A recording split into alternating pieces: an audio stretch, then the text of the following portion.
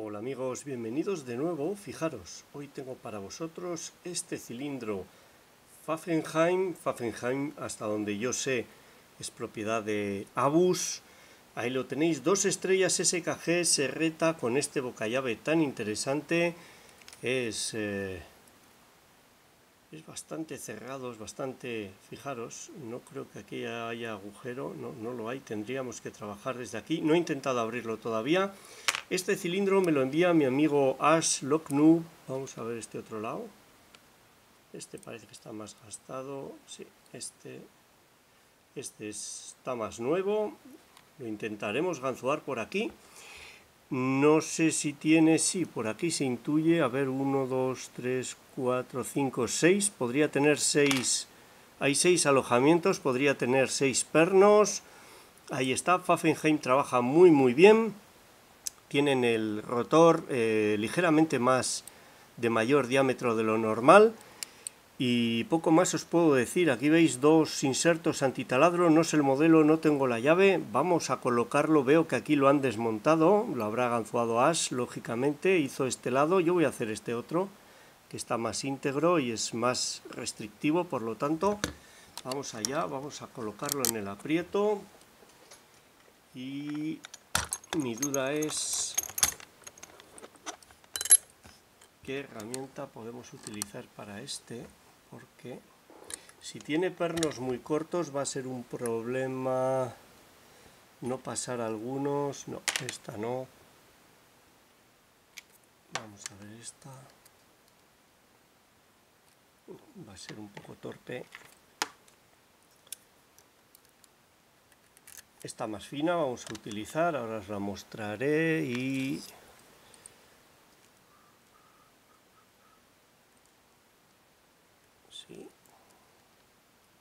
Vale, voy a intentarlo con un tensor de estos, es un tensor de Event, el que más estoy utilizando ahora, yo creo que tiene un milímetro de espesor, ahí está.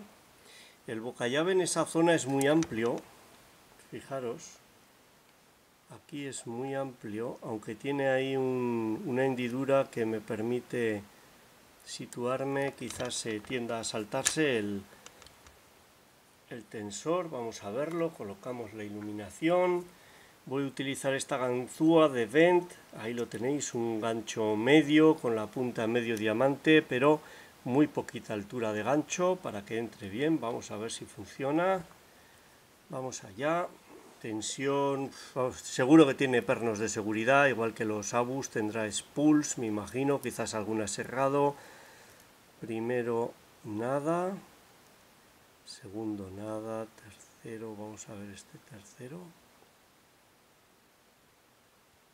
me da miedo pasar los de alrededor. No estoy seguro de si lo he situado bien.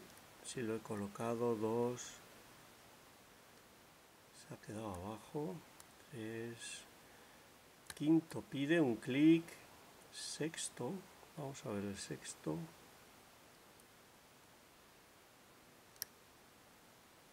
mm, tiene un tacto no estoy seguro de haberlo colocado primero pide ahí Uy, ha saltado, ¿eh? Lo he colocado y ha saltado inmediatamente. Seguramente al disminuir la tensión para colocarlo algo ha saltado. Sexto de nuevo. Yo creo que no lo había colocado bien el sexto. No noto el, el clic. Es como si estuviese golpeando otra cosa.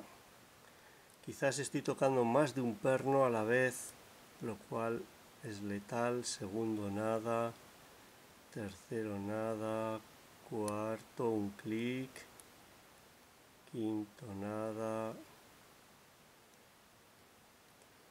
este sexto no me gusta, no lo, no lo noto bien, primero, segundo, mm. vamos a recolocar la iluminación porque hace sombra. Segundo. Tercero está. Cuarto quinto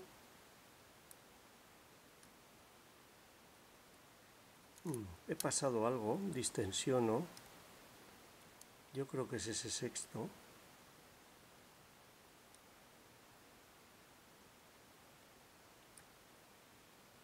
sí, aquí está el sexto, vamos a ver si ahora poco a poco lo voy llevando a su sitio y noto la colocación, ahí está, ahora sí, estaba golpeando una guarda y entonces empezaba a golpear la guarda, empujar la guarda y no empujarlo a él. Hemos caído en un falso. Ahí está. Segundo, el primero no pide, está colocado. Segundo pide. Algo acá, algo ha saltado ahí. Primero. Segundo ahora lo he colocado. Tercero. Cuarto un clic. De nuevo. Quinto un clic. Vuelve el falso. Se salta muy fácilmente. Vamos a ver, este es el cuarto. Cuarto parece que está. Quinto parece que da rotación. Colocamos el quinto y abriría. Uh. muy, muy bonito, muy emocionante. Este boca llave no, no, ahí va, no regala nada. Realmente es, es curioso porque es muy abierto abajo. Eso nos, nos favorece, pero el problema es que eh, los pernos llegan prácticamente hasta aquí. Entonces, eh, trabajando desde aquí, fijaros, aquí da la impresión de que no hay guarda. Pero aquí dentro, ahí empieza la guarda. Os voy a, ya decía yo que aquí pasaba algo más. Fijaros, creo que lo podéis ver ahí. No puedo coger el cilindro y a la vez eh, apuntar, pero aquí adentro, esto que parece una guarda pequeña es tan grande como esta y empieza después del primero, en el segundo. Vamos a ver si la luz... Ahí lo tenéis, yo creo que podéis verlo. Vamos a ver con menos luz. Ahí se le ve. Ahí yo creo que podéis ver en segundo plano cómo empieza esa guarda. Eso es lo que me estaba dando muchos problemas. Sí, sí. Está muy bien, está muy bien. Vamos a ver, vamos a desmontarlo. Vamos allá, cambiamos el plano. Así. Sacamos la bandeja. Por lo que he notado, yo creo que eso está lleno de spools. Vamos a ver cómo podemos quitar esta grupilla. Veo que tiene aquí unas partes planas. No, pero es... Por un momento he dudado si sería una de esos eh, clips eh, cerrados. Vamos a ver. No parece que nos lo quiera poner fácil. Es muy estrecho, no, no voy a poder meter ahí el alicate, pero de una manera o de otra lo conseguiremos. Dejadme que, que me pelee con el clip que desmontemos el cilindro y vemos qué es lo que tiene dentro. Vamos allá.